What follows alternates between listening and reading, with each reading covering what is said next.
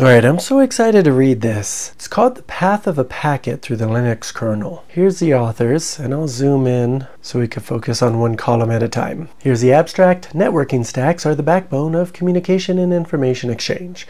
This paper investigates the TCP IPv4 and UDP network stack of Linux, the most common server OS. We describe a trace of the most critical network functions of the Linux kernel 5.10.8. Although Linux networking code documentation exists, it is often outdated or only covers specific aspects like the IP or TCP layer. We address this holistically, covering a packet's egress and ingress path through the Linux networking stack. Moreover, we highlight intricacies of the implementation and pre present how the Linux kernel realizes networking protocols. Our paper can serve as a basis for performing optimizations, security analysis, network observability, or debugging. Nowadays, almost everything is networked from a personal computer to a fridge. Although networking is essential for modern computing, few know the complexity of getting a packet to and from a wire. Given the prevalence of Linux-based servers, it is common for packets to traverse through the Linux networking stack. However, understanding the intricacies of the complex packet processing within Linux takes time and effort. Nevertheless, this knowledge is often critical as it aids in a bunch of things. We base our investigation of the ingress and egress packet path on version 5.10.8 of the Linux kernel, and it is well documented, stable, and contains modern features such as just-in-time compiler for Berkeley packet filters. You might recognize it as BPF. Primarily, we make observations on the kernel source code, which we think, which we link to referenced kernel symbols. Although Linux kernel networking is becoming more diverse, for example, with the addition of multipath TCP, most traffic utilizes the standard TCP and UDP protocol stack. Moreover, despite the acceleration of IPv6 adoption, most devices still communicate over IPv4. Hence, we limit this analysis to TCP IPv4 and UDP IPv4. The remainder of the paper has the following structure. First, we compare this paper with existing literature. We explain the design of General Linux networking stack and the skbuf data structure. We inspect the intricacies of both ingress and egress and finally, we briefly summarize the most important findings. Related work, we evaluated literature on the Linux network stack to the best of our knowledge. While doing so, we made the following observations. Outdated kernel versions, more elaborate papers emerged in the 2000s using Linux kernel version 2 or 3, although the implementation of older protocols in the network stack is stable. Much time has passed. Therefore, we investigated possible deviations. Then there's fragment information. Many papers focus on specific layers, most commonly the TCP and IP implementation, so others determine the cause of networking overhead. A holistic view is lacking in those papers. In particular, even when authors describe the path of a packet throughout multiple layers, they omit UDP, in contrast to this paper. Although there is a talk covering the whole ingress-egress path of Linux version 5, it is a high level, mainly giving an intuition. Hence, we aim for a middle ground between detailed layer specific information and high level network stack tracing. And so sometimes the translation might be a little um, strange to me at least because I am not from Germany. We assume a basic familiarity with Linux and networking, however, we briefly describe essential networking concepts relevant. Here's a networking stack. You got your socket, TCP or UDP, then IPv4, Ethernet, and network card. This is standard from user space to the wire. As shown, a socket either passes a packet to the user space application or receives a packet from the implementation of the transport layer protocol, that is TCP or UDP. The IP layer then routes the packets to the network layer. Below this layer, Linux allows filtering. I have, I have quite a few videos on IP tables. So filtering traffic via firewall rules, the network interface card forwards the packets that it receives from the receive buffer to the kernel and transmits packets read from the transmit buffer. Oh, and you can see that with the command ss-tnp, or at least you can see if there is data in either the send or receive buffers. Or I think they're called send and receive queues I don't know, maybe somebody watching this can tell me if it's the same thing as this buffer they're talking about here. The kernel saves packets in C structures called sk underscore buff um, almost all functions along the packet path interact with it. It tracks packet metadata and maintains a start and end pointer to packet data in memory. Using references to packet data allows for efficient packet modification by adjusting the pointers, for example, when stripping a header away. Furthermore, these structures can be shared efficiently between different processes using memory references. Consequently, cloning a packet is also efficient since only the metadata has to be copied. Assuming a read-only workload. We show this in figure 2. These properties of skbuff form the basis of efficient packet processing on Linux. Alright, I'm not sure where to start here, so buff2 has data. Does it go like this and then go to tail? Maybe their words here will clarify. Figure 2, two simplified SK buff structures point to different locations within the same packet buffer. Head marks the padded start of the buffer while tail points to the end of the actual packet data.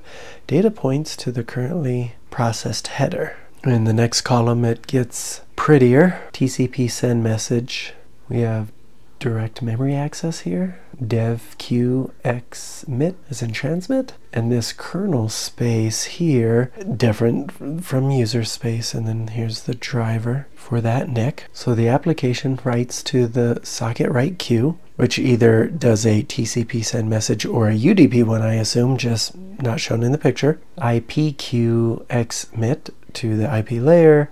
And then there's a devq transmit to the qdisc, which gets sent to the driver to do something. That returns it to uh, kernel space and, and kernel memory. All the packets are getting stored here, it looks like, until uh, the NIC is ready to transmit them. Their description of it is egress path of a packet in case of TCP as described in section 4.1, adopted from... And then why does it say file descriptor? Oh, I jumped over way too soon. I still like the order we've gone in, so I'm just going to pick up reading from here. First, we analyze the egress path, that is how Linux sends packets from a user space app to the NIC as shown in figure 3. See, it's fine that we looked at that. Essentially, the egress side constructs the protocol headers, uh, pushing them to skbuff structures, which it sends out. We'll just jump back here for two seconds. You can pause if you want. So in terms of the socket layer, all starts with a socket that has an associated domain. For example, AF Unix. I forgot what A stands for, but it's something family. Ah, address family. And this idea refers to a specific communication protocol used for interprocess communication, IPC, through Unix domain sockets. So IPC communication is different than network communication. These are very different sockets. So thus you see address family Unix versus address family INET, as they're saying here, which is for IPv4. I don't know what XDP is. Grok says it stands for Express Data Path, designed for high performance packet processing. Oh, and it allows users, space applications to interact directly with network packets. Useful for applications that need to handle a large number of packets very quickly. Right, so we'll keep that in mind. A system call wrapper function like write or send to enables us to send data over the socket, for example, as provided by the GNU C library. In the context of this paper, we choose write file descriptor buffer length to avoid unnecessary complexity. Writing to a file descriptor is a prime example of the Unix philosophy, everything is a file, since a file descriptor abstracts the socket. And I think the way this works is since everything's a file, when a file is opened, it has a file descriptor. When a socket is opened, it has a file descriptor. But when these things are closed or go away, the file descriptor does as well, and then that number is available to the operating system to use again for another file or socket. For sockets, write invokes the sock send message function. It obtains the socket struct sock from the file descriptor, what we started to read before. Zoom in a little bit more. They say the file descriptor is provided by the user space application. I think the file descriptor is provided by the kernel or the operating system. Anyways, generally sockets operate on socket control messages containing the processes process ID, user ID, and group ID. Sock send message retrieves this control message from the task struct a Linux data structure that contains this information for the calling process. With this information, sock send message typically passes the packet through Linux security modules, for example, SE Linux to filter traffic. Finally, it calls a corresponding transport layer handler, in our case TCP or UDP via the macro indirect call INET, and the macro autonomously chooses a corresponding IPv4 or IPv6 variant of the transport protocol entry function, depending on the protocol specified in skprot, which is a field of the skbuf. Now, transport layer. Here we arrive at the IPv4 related entry functions, TCP send message, and UDP. So TCP first waits for the TCP connection establishment. You could use those commands I said earlier to see what connections have been established. Then it allocates skbuf structures for the segments and enqueues them to the socket write queue, as shown in figure 3. TCP send message also guarantees adherence to the maximum segment size, MSS, after processing the queue, the kernel invokes TCP write queue tail. It also builds a TCP header and pushes the data from the user space into the skbuf. If the data fits into the existing buffer, skb add data no cache is used. Otherwise, it creates new buffers, which is more expensive. It then sets the transport header pointer to the beginning of this header. Next, it builds a network layer protocol header as specified in the socket options. So here's your example IPv4 for AF INET. TCP write transmit guarantees that the kernel holds back data in case of congestion control restrictions. It also sets retransmission timers, that is, resends a packet if it does not receive an ACK in time. Oh, good old TCP. Finally, the TCP transmit SKB reads the write queue containing previously constructed segments and passes them to the network layer via the queue transmit function specified in the socket. Let's see how UDP works.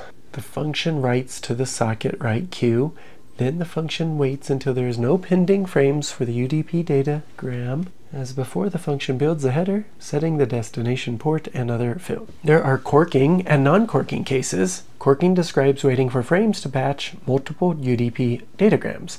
Non-corking implies building skbuf directly. After constructing the datagram, IP route output flow routes the packet and builds a network layer protocol header. Lastly, IP append data creates an IP packet that combines multiple UDP datagram. Overall simplicity and absence of locking endorse that the UDP implementation is more performant than its TCP counterpart. I, I know it'd have been ideal to stop at a more round number, but th that's it for this video, and the next one I'll go ahead and continue from here.